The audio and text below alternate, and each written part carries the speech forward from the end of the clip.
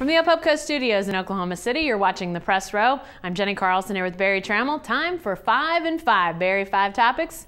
Let's get right to it. Let's start with this one. OU football back in the BCS. Really? I'm going to say no for this reason. Everybody, everybody's always worried about who lost, who's ahead, you know, how many unbeatens are left, what's going to happen in the South Carolina LSU game.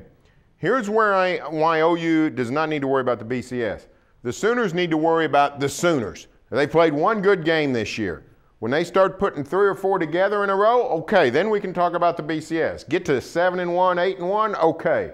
But uh, until uh, until OU takes care of business and shows that the way it played in Lubbock is the way this team can play every Saturday, uh, BCS talk is way premature. Yeah, mathematically, sure, get back on the winning track, and that helps you in the BCS race. But yeah, Texas Tech game to me is not a sign that everything is fine with the Oklahoma football team. Yes, it's the right step because if you go out there and lose Berry, the house really is on fire. But I tell you what, Texas Tech, I was not a believer in them before the season started. I'm not yet believing that Tech is a great team, and I'm not so sure that makes that a great win. Hey, what about this for OSU football, Berry? Is it headed for a quarterback controversy? J.W. Walsh sounds like he's going to start again at Kansas. Are we headed down the road to a quarterback controversy? I think we might be headed towards a quarterback controversy among the fan base and maybe the media, not within the walls of the football office.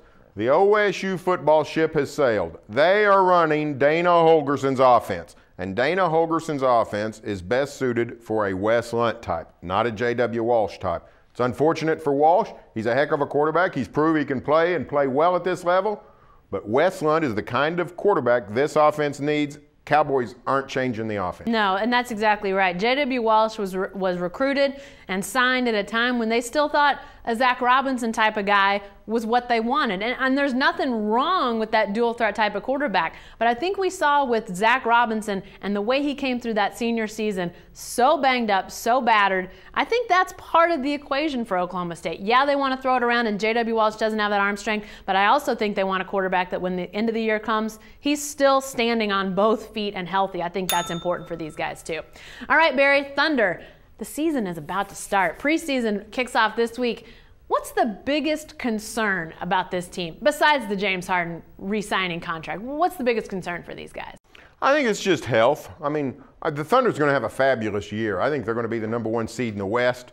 Uh, the Thunder has entered a new, sort of a new dynamic, whereas you don't really worry about the uh, the regular season. As fans, as media, who are, even as players, you just enjoy it. Yeah. You don't worry about it. Um, so uh, I think I think the Thunder just health is about the only thing that can derail this team until they get to say the second, third round of the playoffs.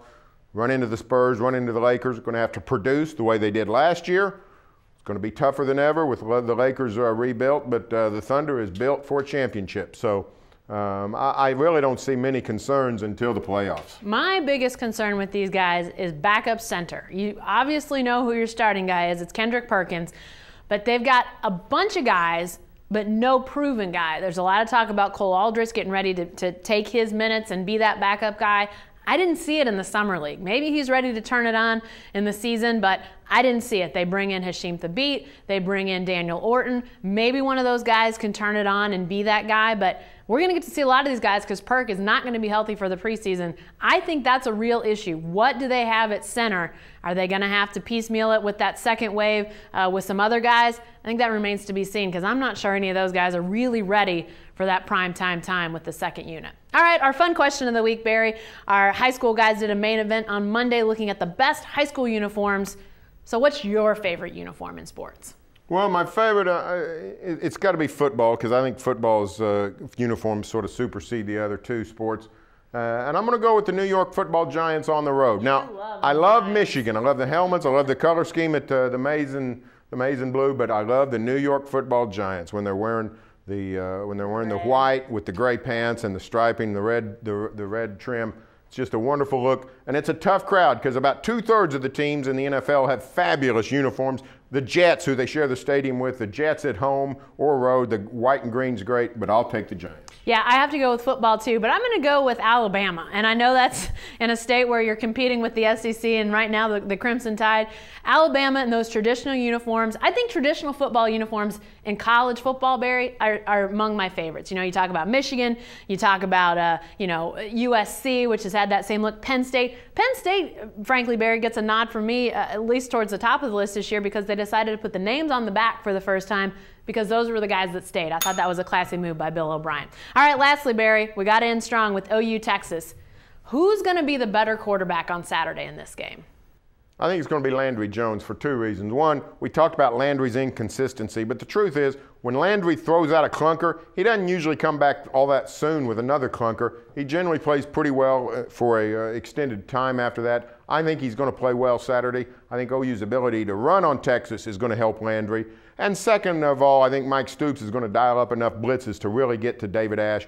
I didn't get to watch a lot of the West Virginia Texas game, but OSU let Ash be comfortable in the pocket. Let him sort of stay back there and, and find his men. Mike Stoops isn't going to do that. Mike Stoops is going to bring the house. Yeah, no doubt about it. David Ash is going to have to play probably his best game of his career if he wants to lead the Longhorns to victory and if he wants to be considered the better quarterback. But I like his demeanor. I got to see him firsthand in that game at Oklahoma State. And Berry, you're right. They didn't pressure him that much.